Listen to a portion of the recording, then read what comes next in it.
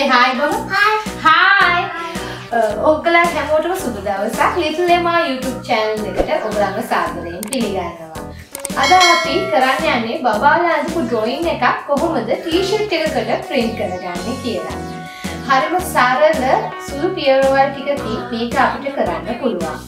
අපි ප්‍රීස්කූල් වලදී මේක අනිවාර්යයෙන් කරන ඇක්ටිවිටි එකක්. මොකද මේක බබාලා ගොඩාක්ම එන්ජොයි කරන ඇක්ටිවිටි එකක් නිසා.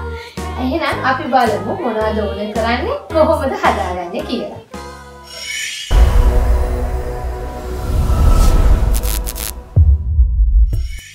අද ඇක්ටිවිටි එකට ඕන වෙනවා ටී-ෂර්ට් එකක්. ප්ලේන් ටී-ෂර්ට් එකක් නම් ගොඩාක් හොඳයි. මම අද සුදු ටී-ෂර්ට් එකක් ගත්තා.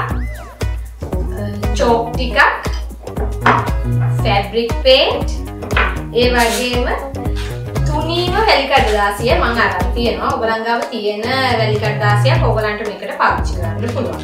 ඒ වගේම බබාල ඉන්න ගෙවල් වල අනිවාර්යෙන් මේවා තියෙනවා අකුරු ඉංග්‍රීසි ලෙටර්ස් හරි සිංහල අකුරු හරි. ඒකයි කාඩ් බෝඩ් එකක් ඔයගලන්ට ඕනේ. එහෙනම් අපි බලමු කොහොමද කරන්නේ. අද අපි කරන්න යන්නේ මෙන්න මේ වගේ ටී-ෂර්ට් එකක්. ඉස්සෙල්ලාම අපි කරන්න යන්නේ මේ එමාගේ නම print කරගන්න විදිය බලමු. ඒකට අපිට ෆැබ්‍රික් පේන්ට් ටිකක් කප් එකකට දාලා වතුර චූට්ටක් දාන්න ඕනේ. ගොඩක් වතුර දැම්මොත් මේක දියාරු වෙනවා. මේ ඒක නිසා අපි චුට්ටක් වතුර බිංදු දෙක තුන එකතු කරලා අපි ඒක ගානට හදාගන්න ඕනේ. මේක කලවම් කරලා මේක ස්ප්‍රේ බොටල් එකකට දාගන්නත් පුළුවන්. එහෙම නැත්නම් ඔයගලන්ට ටූත් බ්‍රෂ් එකක්. ටූත් බ්‍රෂ් එකක් මේකට පාවිච්චි කරන්න පුළුවන්.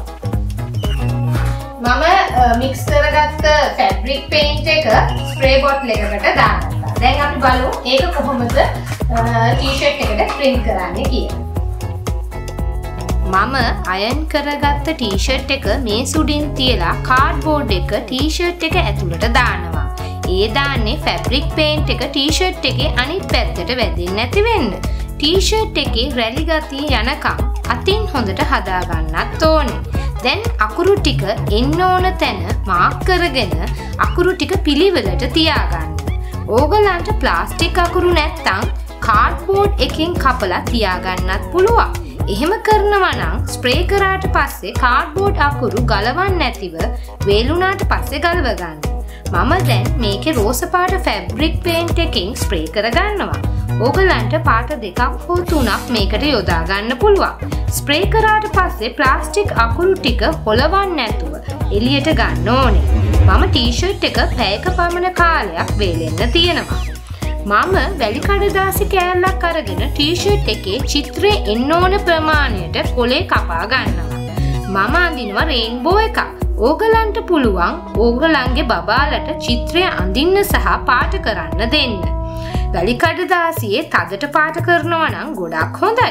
ඕගලන්ට කැමති ඩ්‍රොයින්ස් මේකට භාවිතා කරන්න පුළුවන් වගේම ඕගලන් භාවිතා කරන ටීෂර්ට් එකේ පාට අනුව වර්ණ යොදාගන්න. මේක වැලි කඩදාසියක් නිසා පරිස්සමෙන් චිත්‍රය ඇඳගන්න. ළමයින්ගේ සම සිනිදු නිසා හීරෙන්න පුළුවන්. ඒ වගේම තමයි සිනිතුම වැලි කඩදාසිය මේ වැඩේට යොදාගන්නත් ඕනේ. චිත්‍රය පාට කර පසු වැඩිපුර චෝක් ටික මේ වගේ ගසාගන්න. දැන් පාට කරපු වැලි කඩදාසිය ටීෂර්ට් එකට තියලා අයන් කරන්න කලින් කාඩ්බෝඩ් එකක් ටීෂර්ට් එක ඇතුළට දාගන්න අමතක කරන්න එපා.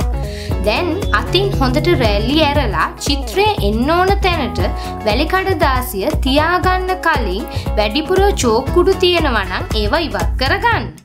දැන් ඉතින් වැලි කඩදාසිය ටීෂර්ට් එක උඩ තියලා පරණ කොලේකුත් ඒකෙ උඩින් තියාගන්න. අයන් එක කොටන් කියන සෙටින් එකට දාලා මිනිත්තුවක පමණ කාලයක් හොඳින් අයන් කරගන්න ඕනේ. අයන් එක එකම තැන තියාගන්න ඇතිව එක සමානව අයන් කරගන්නත් ඕනේ.